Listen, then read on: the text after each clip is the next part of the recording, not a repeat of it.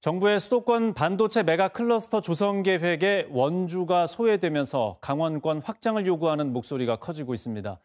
이런 가운데 오늘 박승희 삼성전자 대외 협력 사장이 강원도청을 방문해 반도체 산업 관련 문제를 협의했습니다. 어떤 얘기가 오갔는지 구순정 기자가 취재했습니다.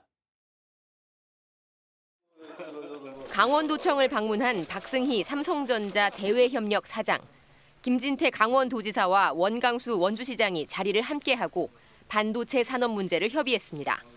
김진태 도지사는 원주가 반도체 산업 인프라 확장에 최적지라는 점을 강조하고 강원도에 대한 투자와 사업 확장을 요청했습니다. 기존 용인 클러스터 예정지와의 접근성과 반도체 산업 생태계 조성을 위한 테스트베드 구축 계획을 설명하고 국비 200억 원이 투입되는 반도체 교육원 등 인력 양성 계획도 중점적으로 내세웠습니다.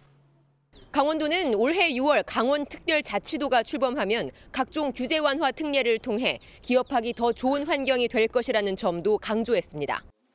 40여 분간 이어진 면담에서 삼성 측은 강원도 반도체 교육센터의 인재 양성에 협력하고 각종 교육 관련 사회공헌 사업을 강원도에서 추진해 첨단 산업의 저변 확대를 돕겠다고 약속했습니다.